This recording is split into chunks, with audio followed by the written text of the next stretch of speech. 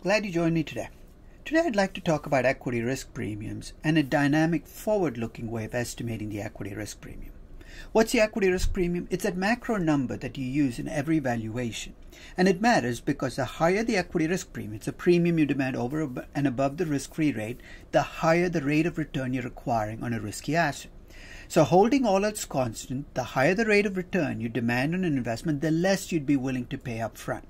So higher risk premiums usually translate into lower values today.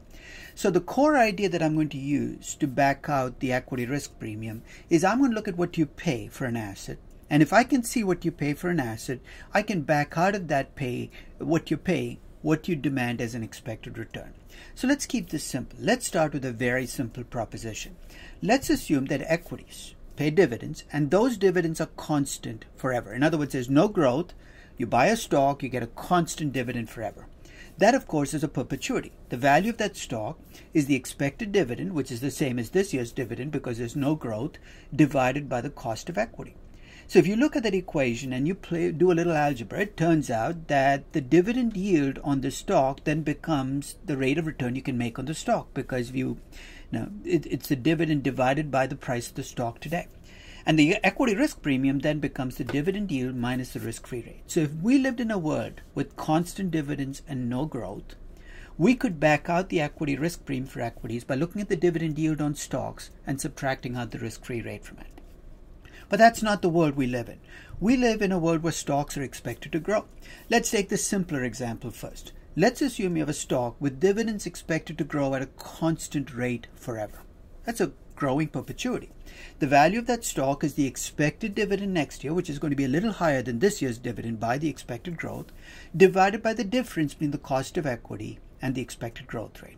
This, of course, is the Gordon growth model. It's a model that's very widely used in valuation. Now, again, if you do a little algebra on this model, it turns out that your cost of equity can be written as the sum of two variables. The expected dividend yield, the expected dividend divided by the value of the stock today, plus the expected growth rate. Now, once you have that, of course, you can subtract out the risk-free rate from it to come up with the equity risk premium.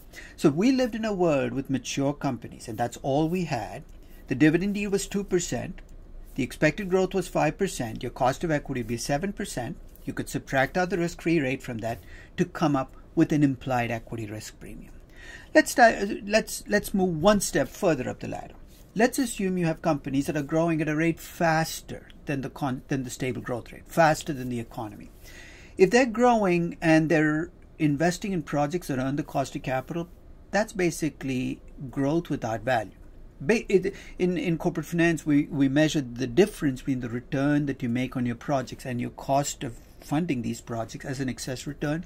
If you earn no excess returns, it actually turns out that the equation we had on the previous page still works, and it turns out that the earnings yield for a stock can be become your cost of equity, and subtracting out the risk-free rate from it can give you the equity risk premium. So, as an example, if you're uh, if you have you know price earnings ratio of 10, that works out an earnings yield of 10%. You subtract out the risk-free rate from that, that in turn gives you the equity risk premium.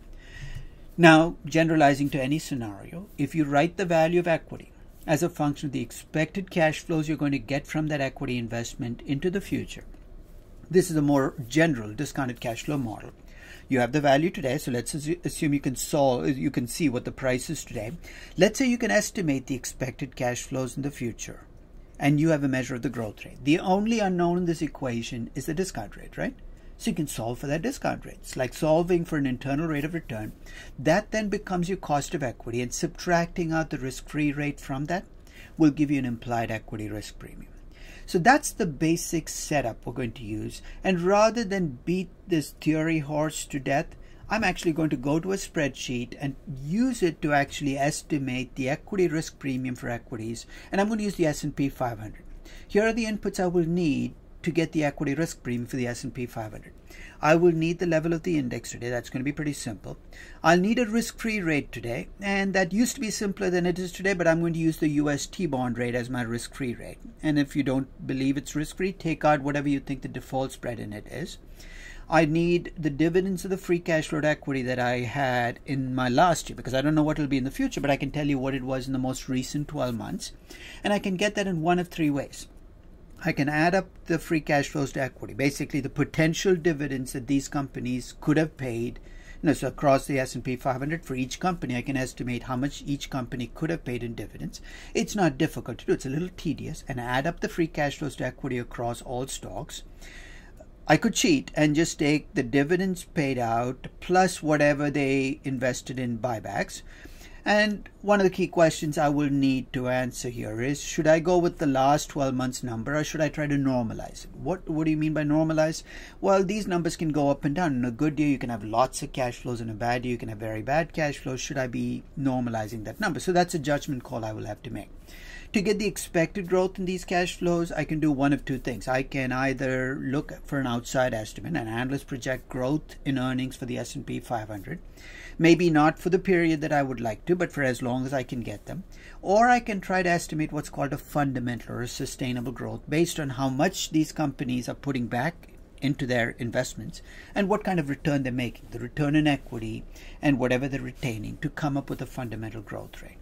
So what I'd like to do now is go to a spreadsheet that's on my website and this is my implied equity risk premium spreadsheet from the start of 2000 and uh, from the start of February 2013.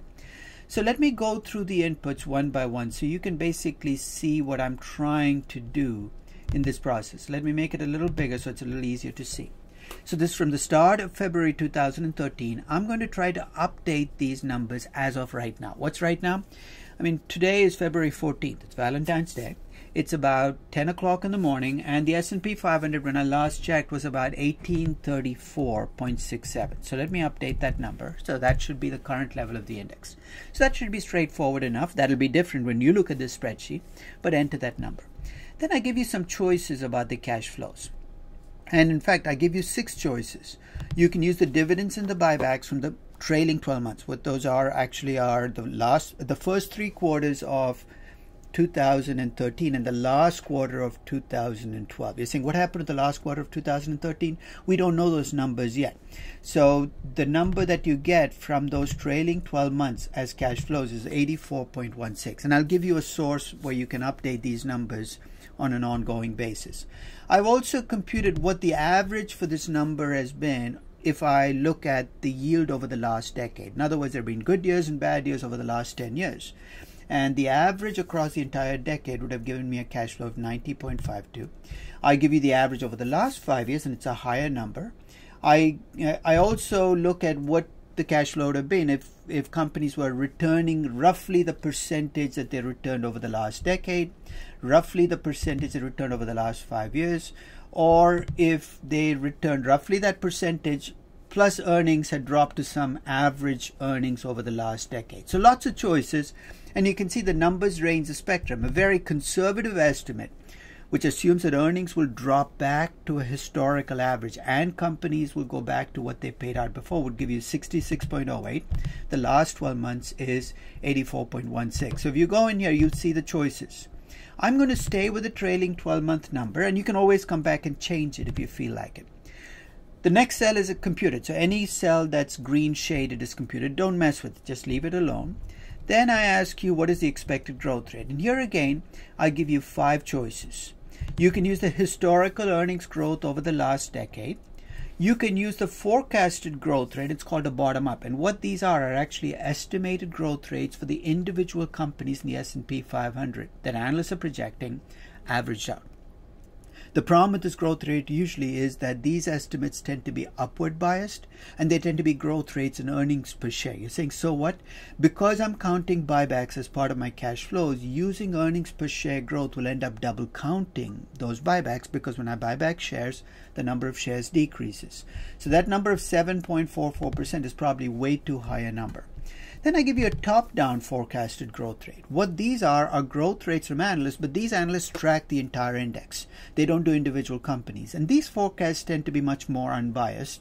And that number is about 4.44 and that's in fact, you know, one of the numbers I track is the is the is, is, is that I have top down number and that's what I'm actually going to use in my forecast.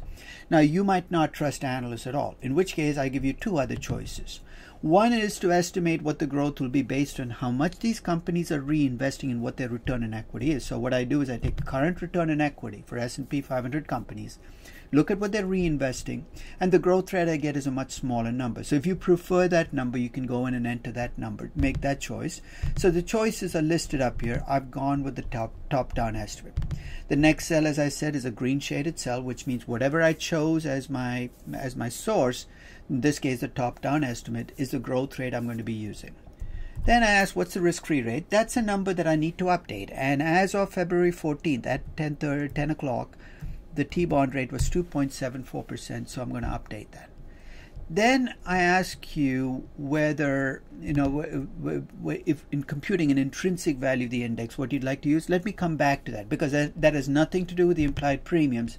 That's to allow you to actually figure out whether stocks collectively are underpriced or overpriced.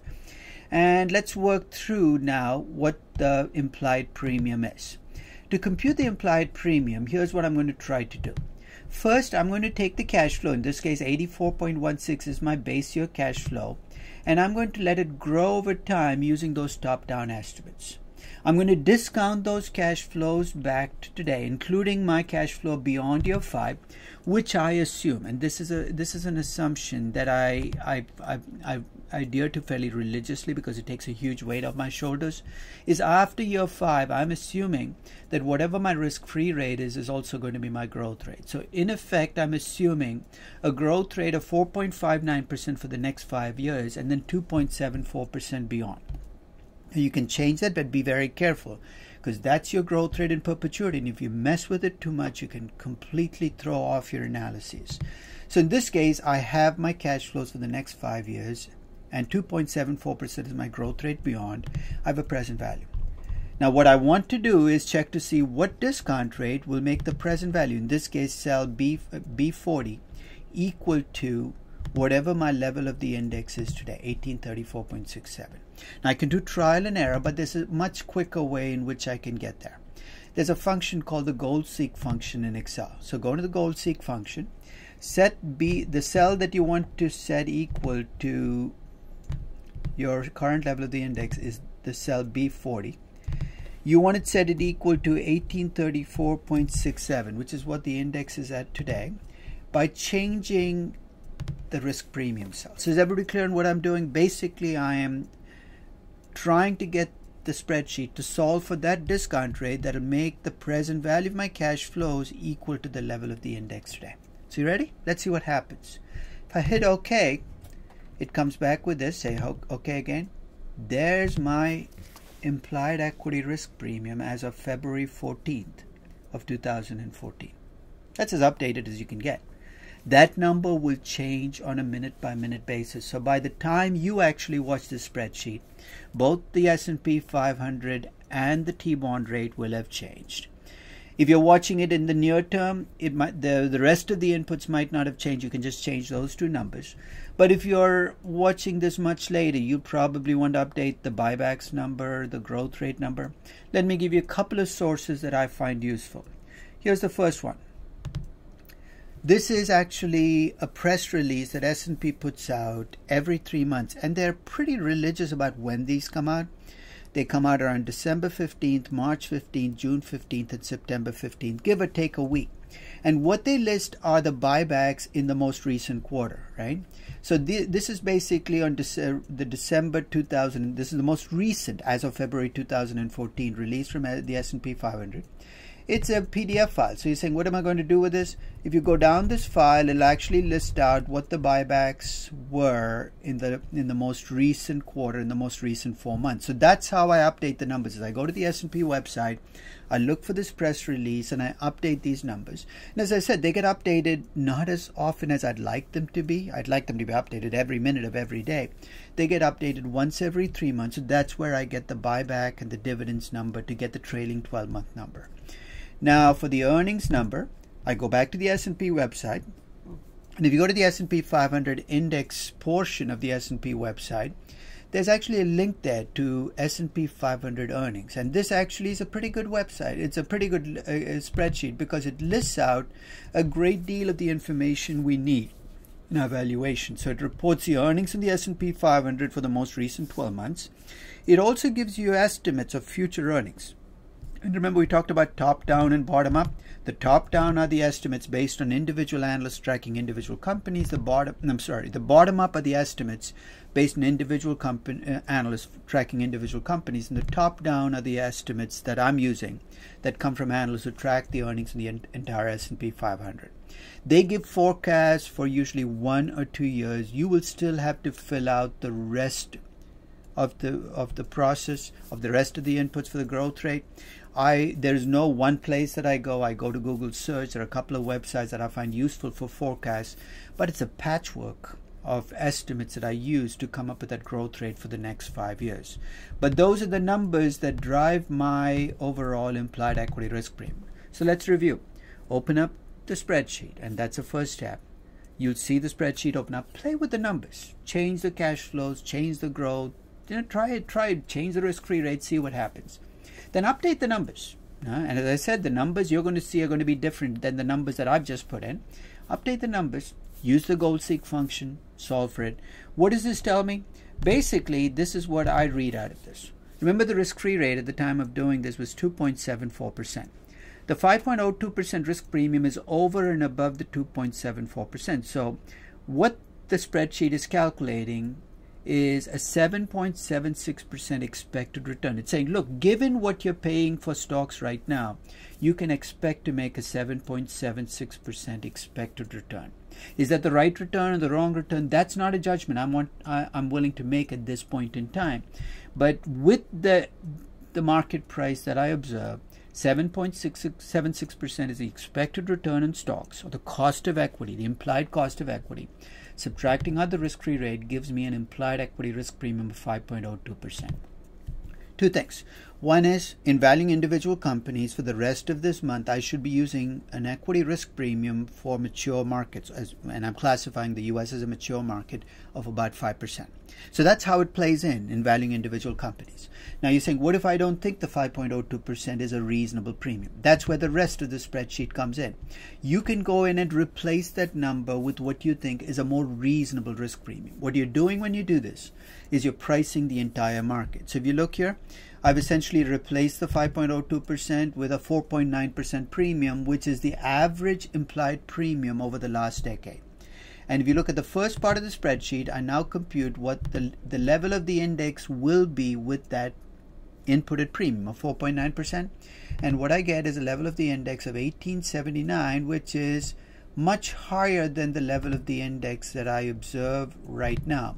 And in fact, if you look at the, the I've also computed an intrinsic P and intrinsic, you know, uh, adjusted P, but that's not the key. It's a little higher than the existing level of the index, which means that if I'm making a judgment on the overall value of equities, my conclusion is stocks are slightly undervalued, not overvalued. So again, I'm not trying to push you into that conclusion, but I'm saying you can use the spreadsheet to draw the conclusions you want. So I, I, the best way to kind of get a better sense of this is to is to is to play with it. And I hope you get a chance to do that. Thank you very much for listening.